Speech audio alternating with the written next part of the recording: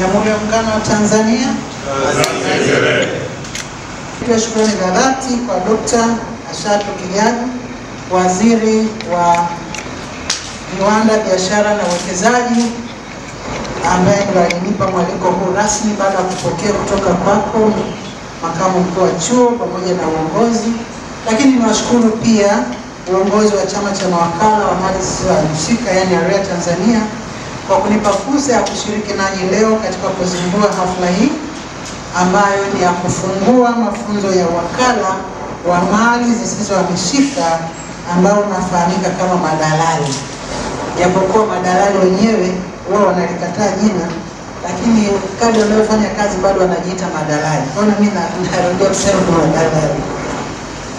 Mheshimiwa mkuu wa chuo, nitumie pia fursa hii ambayo mmenipa ukishirikiana na AREA Tanzania kuwapongeza sana kwa kubuni mpango huu wa mafunzo ambao unalenga kuhakikisha kwamba fani ya uwakala wa mali eh, zisizohamishika unaendelezwa kitaalamu. Nadhani wewe mwenyewe wakati unaongea umejaribu kusema lengo na madhumuni kwa nini umefanya hivyo, lakini unapokwenda kurasimisha shughuli hii kitaalamu zaidi, nadhani pia hata wanaofanya shughuli hiyo mnaweka katika mazingira mazuri. Hatua hiyo mlioichukua ya kufundisha vijana wajasiriamali wanaojishughulisha na shughuli za zisizo rasmi na kuingia katika utaratibu rasmi kwa kufanya shughuli zao itasaidia zaidi katika kuwajengea uwezo kitaalamu, lakini pia kuwajengea kujiamini katika zile kazi wanazokwenda kufanya, na italeta pia wao kuaminiwa na jamii, tofauti na sasa ambapo wanafanya kazi hizo, wengine wanakuwa wanatiliwa shaka kwa kuangaliwa tu, wengine wao wenyewe kwa hulka yao wanakuwa pia wanaharibu ile kazi wanayoifanya.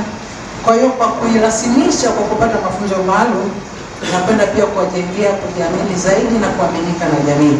Mpango huu unaenda sambamba na utekelezaji wa azma ya serikali ya awamu ya sita inayoongozwa na Dr. Samia Suluhu Hassan, Rais wa Jamhuri ya Muungano wa Tanzania, kwa kuhakikisha kwamba wananchi wote wanajishughulisha na shughuli mbalimbali zilizo rasmi na ambazo zimerasimishwa, lakini pia unawawezesha kuwaweka katika mazingira mazuri na rafiki katika kuwajengea uwezo ili shughuli zao ziweze kuwawezesha kujikimu, lakini kuinua pia uchumi wa taifa.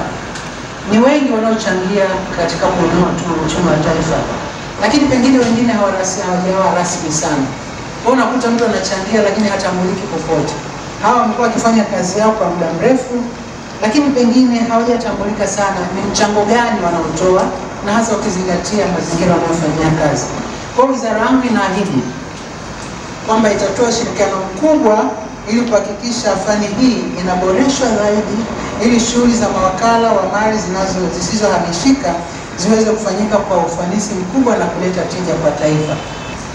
Nimepitia pia mtaala wa mafunzo ulioandaliwa na CBE wakishirikiana na AREA na kubaini kuwa pamoja na kuwa mafunzo haya ni ya muda mfupi, lakini mtaala huo umegusa maeneo mengi muhimu kwa ajili ya kuwajengea ujuzi na uwezo wa kitaalamu. Maeneo haya yanagusa masuala ya biashara ya sekta ya milki kwa ujumla, lakini pamoja na hali halisi ya biashara ilivyo hapa nchini.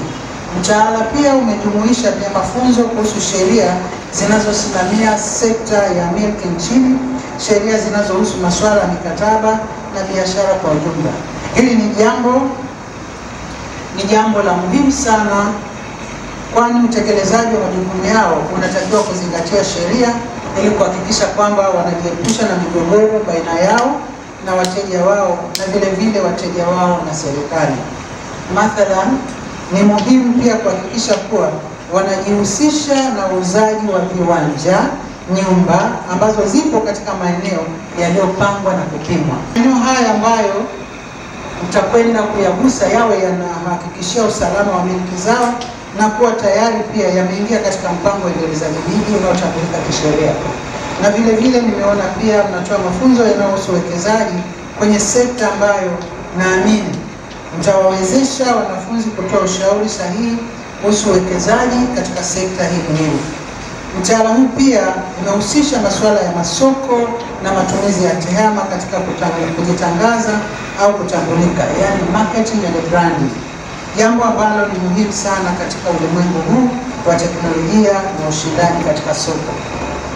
Sasa kama watu watatumia TEHAMA pia, nadhani itakuwa kuwarahisishia zaidi katika kutafuta masoko ya watu wao.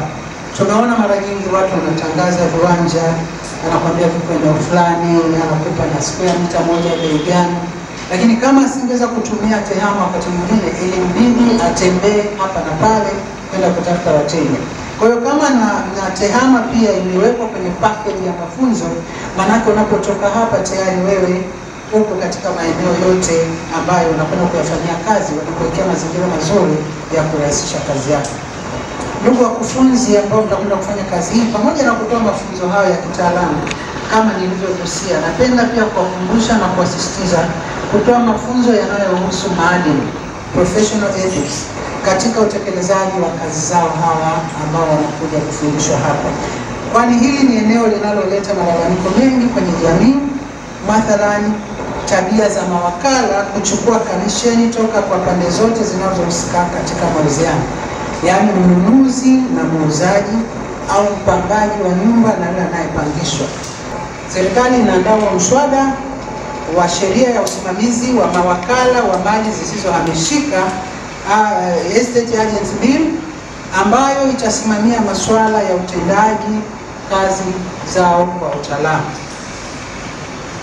Kwa kuanzia, wizara yangu imeweka pia utaratibu wa kuwatambua na kuwasajili mawakala wa mali zisizohamishika hapa nchini kwa lengo la kutambua shughuli zao, lakini pia kuwashirikisha katika mipango mbalimbali ya serikali. Aidha, serikali inaandaa mfumo wa kielektroniki wa kuwasajili mawakala hao. Mtakumbuka mwaka jana, kama sikosea, mwaka juzi tulikuwa na kikao na wadau hawa, walikuwepo mawakala pamoja na uh, wamiliki wa real estate, tukitaka kuangalia ni utaratibu upi mzuri ambao tunaweza tukaenda nao, kwanza kwa wao kutambulika kisheria, lakini pili pia kuona kazi zao wanazifanya kwa kufuata au kuzingatia sheria za nchi. Walitoa maoni mengi, mawazo mengi tuliyapokea kama wizara na ambayo yanaendelea kufanyiwa kazi. Kwa kwa vyovyote vile sheria itakapokuwa itakapotoka itakuwa imezingatia maoni na ushauri ambao waliutoa, na kwa sababu bado mswada haujaingia bungeni, utakapokuwa umeingia pia utakuwa na fursa zaidi ya kuweza kuwashirikisha wadau kuweza kutoa maoni yao. Lengo letu ni kuhakikisha kwamba hii kazi inafanyika kwa kuzingatia sheria za nchi. Hivyo nitoe maelezo haya na wengine wanaofanya kazi hizo kujiandaa kuingia katika utaratibu wa kutambuliwa na kusajiliwa baada ya mfumo huu kukamilika. Taarifa zaidi kuhusu utaratibu hizo mtazipata kupitia chuo hiki cha CBE au kupitia majukwaa yenu mbalimbali wakiwemo hawa REA pamoja na vyombo vya habari.